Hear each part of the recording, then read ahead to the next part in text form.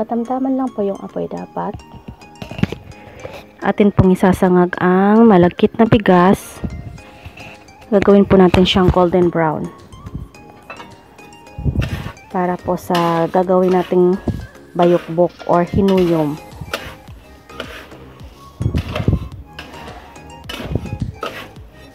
Halo-haloin lang po natin para maging pantay yung pagiging golden brown niya pagkakaluto sa kanya. Tapos po, pag golden brown na siya, saka po natin siya i-cool down or palalamigin. And then, saka po natin siya ipapagiling para po dun sa gagawin nating bayokbok. Ito nga po palang ano, uh, bigas natin na malagkit. Isang kilo po ito. Golden brown na po siya.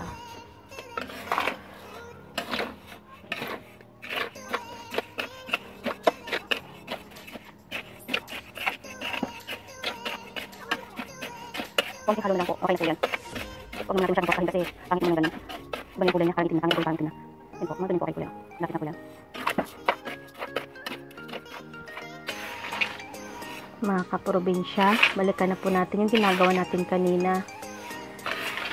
Yan po, ganito po okay na po yan.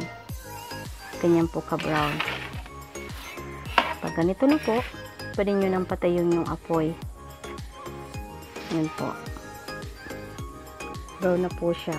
Ayan po. Cut lang po yung i-cool down or pag ganyan na po, okay na po yan.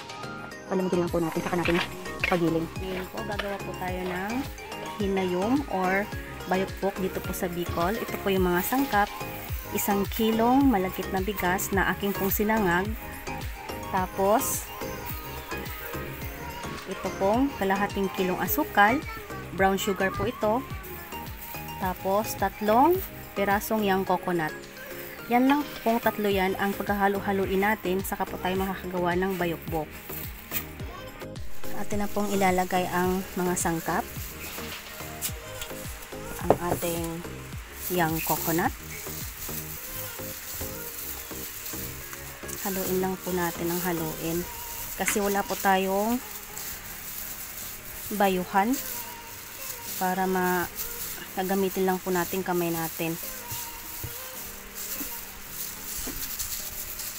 Ilalagay na po natin lahat para mas masarap.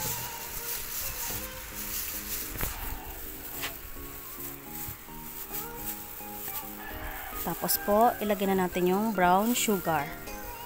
Yung brown sugar po depende sa inyo kung uubusin nyo ba yung kalahating kilo or hindi. Depende po sa panlasa nyo kung gusto nyong matamis or hindi. Depende na po yun sa inyo. Ganyan lang po yung gagawin natin. Halo-haloin lang po lahat. Magtira po muna tayo ng konti para pag ano, kung kulang pa, saka po natin ubusin. Ayan po yung tinara ko muna. Pag kulang po, saka natin uubusin yan. Tapos po, yung pinagiling kong bigas na malagkit, nagtira din po ako. Para po mamaya doon natin siya papagulungin. Pag na bilog-bilog na natin siya. Ito pong bayokbok na to since elementary kumakain na po ako nito. Kaso ngayon po nag malaki na ako hindi hira na ako makakita na nagluluto nito. Kaya po ngayon po ituturo ko po sa inyo kung paano magluto siya kayang mabuo or mabilog, lalagyan lang po natin siya ng tubig. Unti-unti lang po yung paglalagay ng tubig para hindi rin po siya nalalata. Pangit po kasi yung lata yung gagawin nating bayokbok. Yung iba po nilalagay is um, yung sabaw ng yung coconut. Yung po nilalagay nila. Ako po tubig lang para hindi po siya ano, masira agad ganyan lang po haluin natin ng haluin hanggang sa kaya na siyang mabuo. Kung hindi pa rin kaya mabuo na mabilog lagyan din tayo maglalagay din tayo ng tubig ulit. Okay na po yung pagkakamasa natin na ihalo na po natin na maike pwede na po natin siyang ihulma. Ihulma po natin siya ng pabilog. Depende po sa inyo kung gaano kalaki, kung malaki po ba or tatamtaman lang. Ganyan lang po. I-forma lang natin ang pabilog. Yan po. Ganyan lang po pabilog. Tapos po, ilalagay po natin dito sa ito po, yung tinira ko po ito na kanina na malagkit na pinagiling na bigas. Dito natin siya mapalug pagulungin. Ganyan lang po. Ganyan lang po. Ganyan po. Utsura niya.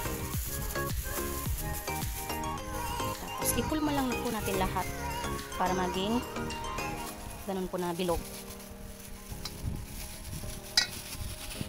Makikita nyo po to. Ang dami niyang murang nyog. Ganyan po ang masarap sa bayokbok. Ayan po, ihulma lang ng pabilog. Tapos, sakay dito, ilalagay.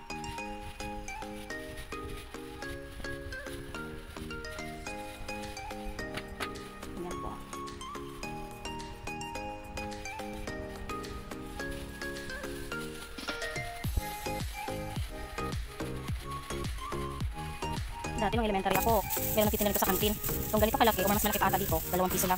Kaya gumawa ako nito ngayon kasi namiss ko yung ganitong pagkain. Ayan po. Tapos, nasa ubos natin siyang nabilog. Lahat po ng ano, magagawa na natin. Nabibilog na natin. Nakahulma na. Ganyan lang po yung paggawa ng bayokbok dito sa Bicol. Napakasimple lang naman gawin.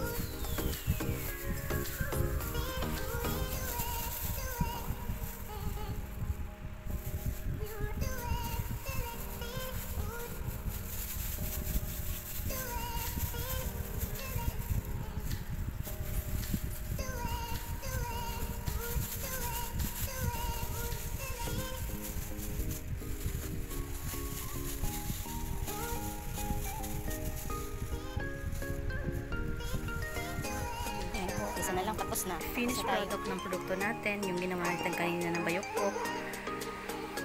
Sana po nagustuhan nyo po at sana makagawa rin po kayo sa inyong bahay ng ganito. Sinisigurado ko po sa inyo masarap po ito. Thank you for watching mga kaprobinsya. Don't forget to like, share, and subscribe po. Thank you po.